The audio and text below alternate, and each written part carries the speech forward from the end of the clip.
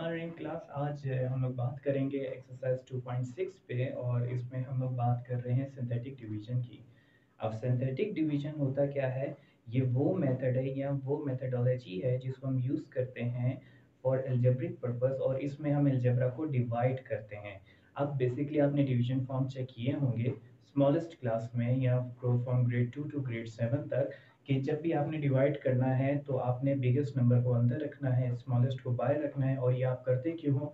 इस वजह से ताकि आपके पास जो बड़ा नंबर है, वो रिड्यूस होकर छोटा हो जाए।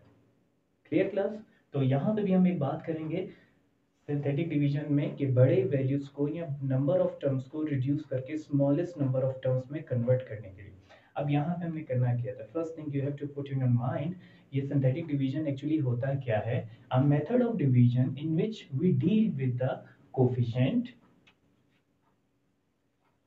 and constant अब आपके दिमाग में होगा कि ये कोफिशिएंट क्या है और कांस्टेंट क्या है?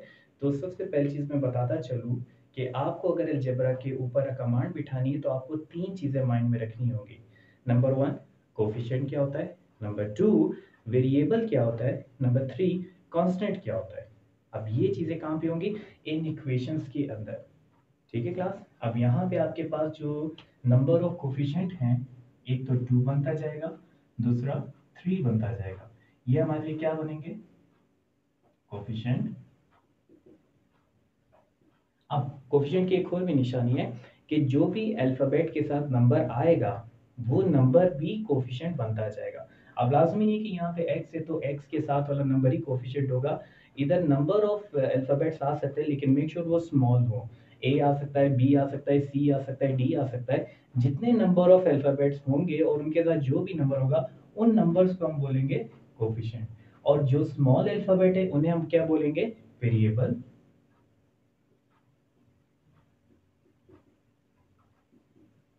और जिनके साथ कोई अल्फ़ाबेट नहीं आता, उन्हें हम बोलेंगे constant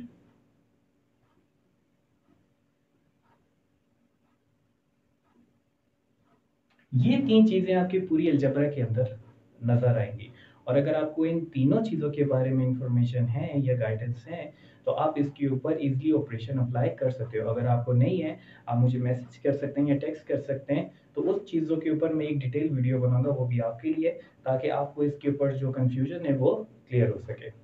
Okay moving toward our today's lecture which is synthetic division और for synthetic division we have to pick out two things the number one is coefficient and the second one is constant ये दो चीज़ें ही आपने सवाल में से pick करनी है और इन्हीं को हम लोग यूज़ करेंगे एज अ डिवीज़न और at the result we get a quotient and number one number two is remainder मैंने यहाँ से टू को पिक किया सेकेंड मैंने थ्री को पिक किया और उसके बाद एक कांस्टेंट नंबर को मैंने पिक किया। क्योंकि मैं यहाँ पे बात किसकी कर रहा हूँ? कोफिशिएंट एंड कांस्टेंट की।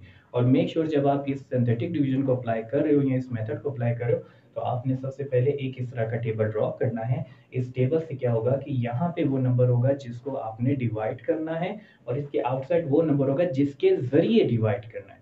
तो मैंने इस इक्वेशन को किसके ज़रिए डिवाइड करना है? इस टर्म की जगह से।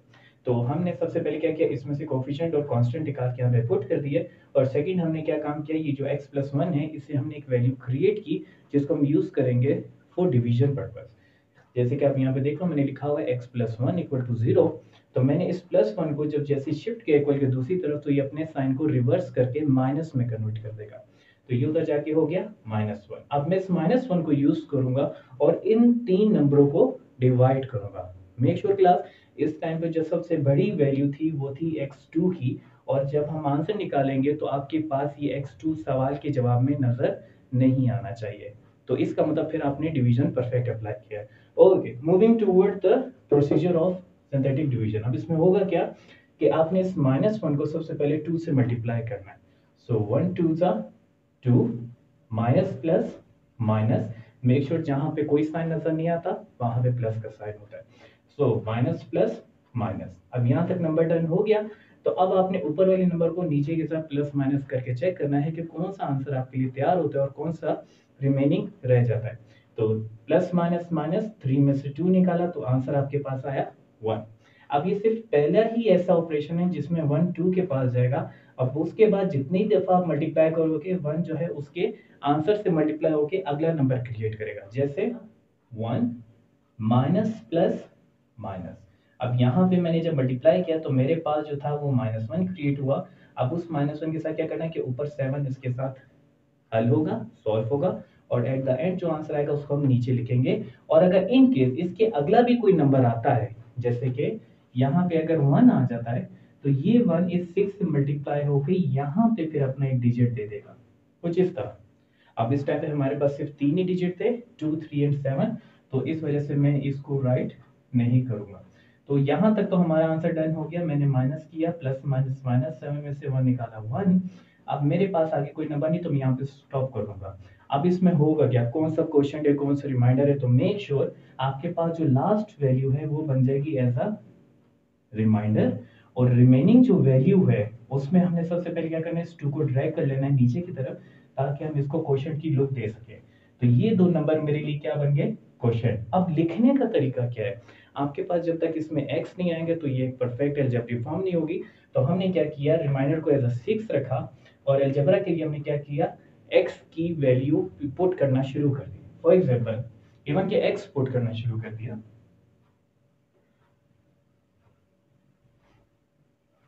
जैसे, अब यहाँ पे आपके पास है टू एक्स प्लस वन लेकिन यहाँ पे ये x कहाँ से है? मैं आपको गाइड करता हुआ चलूँ कि जब हमारे पास यहाँ पे टू और वन था तो हमने यहाँ पे इसको नंबर ऑफ़ x वापस दिए, जिससे हमने यहाँ से number of number of x निकाले थे। तो यहाँ पे आपके पास ज़्यादा फ़र्स्ट नंबर क्या होना चाहिए? कॉन्स्टेंट बेसिकली यहाँ पे एक एक्स होता है, लेकिन उसकी पावर होती है ज़ीरो ये सिर्फ़ आपको गाइड करो, ताकि आपको पता चल जाए कि इस एक्स के बाद ये एक्स क्यों आ रहा है।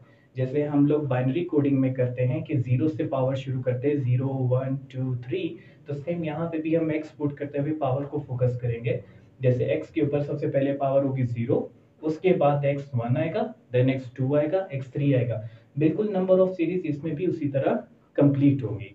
जैसे हमने बाइनरी कोडिंग में की थी, जब हम किसी भी कोड को ब्रेक डाउन करते हैं। अब यहाँ पे हमारे पास जो x की वैल्यू ज़ीरो है तो ये गायब कहाँ पे होगी और यहाँ पे सिर्फ़ वन क्यों लिखा हुआ है। तो मैं गाइड करता चलूँ कि कोई भी अगर अल्फ़ाबेट है ए बी सी डी और अगर उनकी पावर भी ज़ीरो है तो ये सारे के सारे ये बन जाएँगे इक्वल टू वन चाहे दुनिया का कोई भी बड़ा नंबर हो, चाहे कोई भी वैल्यू हो इवन के कोई सिंबल भी हो तो मेक श्योर sure वो जब भी अपनी पावर ज़ीरो शो करेगा तो वो इक्वल टू हो जाएगा वन बेसिकली अगर मैं इस इंफिनिटी साइन को भी डील करूँ और इसके ऊपर मैं पावर रख दूँ ज़ीरो तो ये भी क्या हो जाएगा? इक्वल टू वन तो हमने क्या किया?